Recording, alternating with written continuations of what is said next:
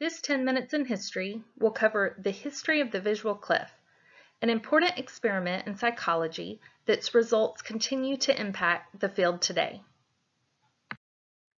The visual cliff has become a classic experiment discussed in many introduction to psychology courses.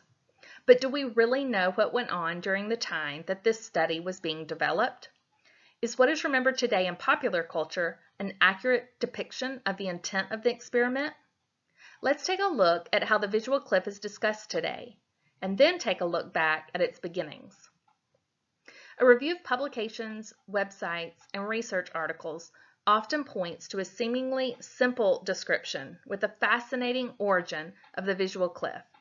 Photos showing babies placed on a tabletop peering hesitantly over a plexiglass surface is usually what you will find in a search of the visual cliff. A cursory glance of the experiment gives us the idea that children are being studied for their reaction to unknown, fearful, or uncomfortable situations. That a relationship between children's locomotor ability and depth perception is being studied. Or that an answer to the question of what knowledge is innate and what is learned can be found.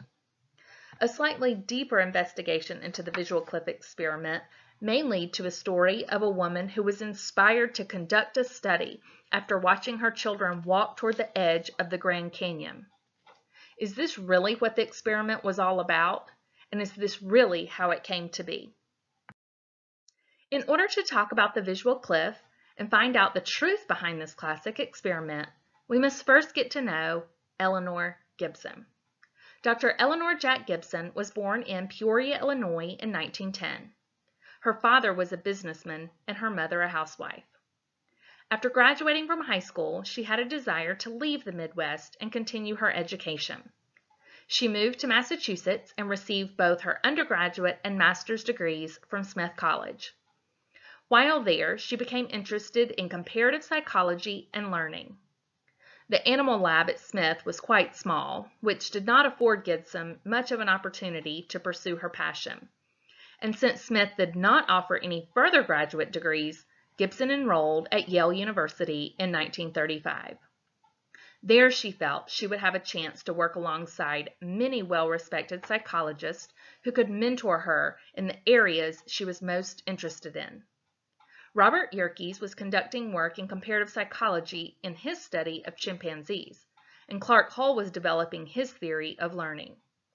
In her first meeting with Dr. Yerkes to discuss her interest in helping out in his lab, she recounts that he got up, held open his office door, and stated, I have no women in my laboratory, and that's that. Thankfully, she found more acceptability with Dr. Hull. Hull was a behaviorist and based his studies on conditional reflexes, which was in contrast with Gibson's own views of learning. Nevertheless, she found that she could incorporate some of Hull's theories into her dissertation research by applying generalization and differential inhibition to human learning. In 1938, she received her PhD from Yale. After graduation, Eleanor Gibson spent a few years teaching at Smith College, where she was able to continue her interest in comparative psychology. She also spent time moving around the country with her husband and children, and then in 1949 ended up at Cornell after her husband received a faculty position there. Though Eleanor was also interested in taking a faculty position at Cornell, she was not offered one due to the nepotism rules in place at the time. Fortunately, Dr. Howard Liddell offered Eleanor a position as a research associate at his behavior farm. As part of her work, Gibson worked with sheep and goats in experiments on neurosis and other animal behaviors. Although not part of Liddell's planned experiments, Gibson became interested in what she observed between the mothers and their babies. So much so that she decided to conduct her own experiments investigating rearing behaviors. Pleased with her work and excited about how she was spending her time, Gibson presented on her findings and has even commented that she sees some of these publications as her best work. It was during one of the days at Liddell's farm, while she was collecting data for her rearing experiments, that she noticed the behavior of a baby goat who had been placed on a high shelf to be temporarily kept out of the way. To her amazement, the kid stood in place and did not attempt to walk or jump off the ledge. Though this interesting phenomena was only a note that was placed in the back of Gibson's mind, her eagerness to continue with her experiments into animal rearing behaviors increased, and things went well. Until she arrived at the farm one day to find that Liddell had given away all of the goats from her control group to parents who were looking for an Easter gift for their children. Furious, she left the farm and her research. Looking for another opportunity to continue her research interests in rearing behaviors, in 1956, Gibson approached a young Dr. Richard Walk, who worked in the psychology department's rat lab. Through a grant, Gibson and Walk spent many hours researching the effects of light on animal discriminatory behavior. Growing tired of the lack of variation in the work, Gibson suggested they add another component that investigated visual perception similar to what she'd observed from the goat at Liddell's farm.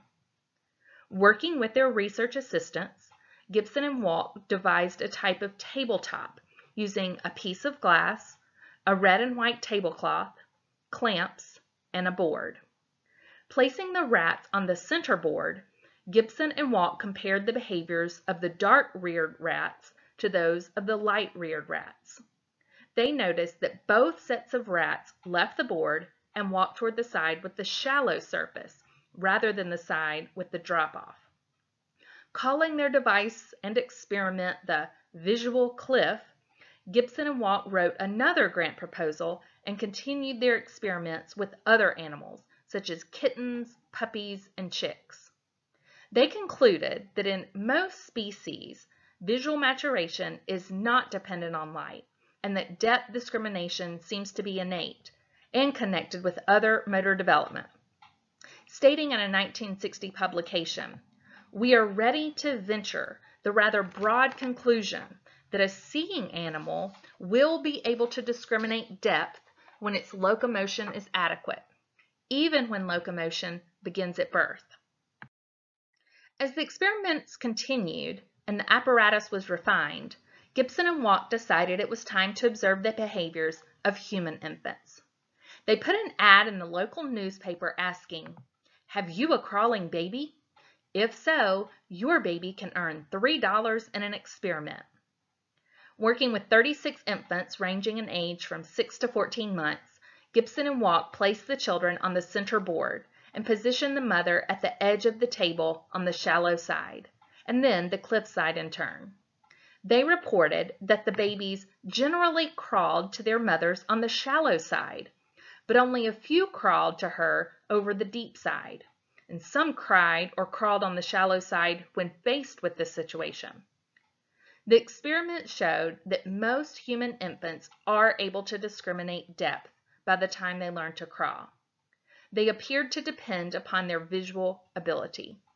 It also showed, as some infants would reach out and touch the glass above the cliff or back onto the glass in an effort to crawl forward on the shallow end, that the infant's locomotor development had not always been at the same pace as their visual perception development.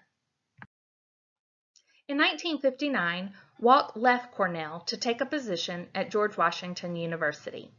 He and Gibson decided that Walk would take the experimental instruments and continue the research. In some of his later work using the visual cliff, Walk experimented with new animals like crabs, ducks, and snakes. He also continued the research with human subjects. One particular behavior that he focused on while at George Washington University was the visual placing response. He investigated whether infants initially reached out their hand in approaching either or both the shallow and deep side of the visual cliff and found that almost all of the subjects used visual placing before crawling to the shallow side, but did not use it in an attempt to crawl across the deep side leading him to posit that the visual placing response is a visual one rather than a reflexive response. Later in the 1970s, Walk licensed the visual cliff to Lafayette Instrument Company. With so much time and effort put into the visual cliff experiments in the 1950s, 60s, and 70s, is it still a relevant topic? Psychologists at New York University, University of California, Berkeley, and Tulane University have continued using the visual cliff experiment in their research labs. A hands-on experiment is even available to parents and their infants at the Ontario Science Centre. Moreover, a search of publications reveals the visual cliff is mentioned in over 600 academic journals, reports, or magazine articles, and over 100 since the year 2010. So it seems that the work of Gibson and Walk is still considered an important topic today. Although the origins and beginnings of the visual cliff may not always be remembered correctly, no, the idea did not come from children walking too closely to the edge of the Grand Canyon, and the experiment did not even begin with human subjects. It seems that using the visual cliff as a means to better understand our visual perception development is a topic that continues to be popular in the field of psychology.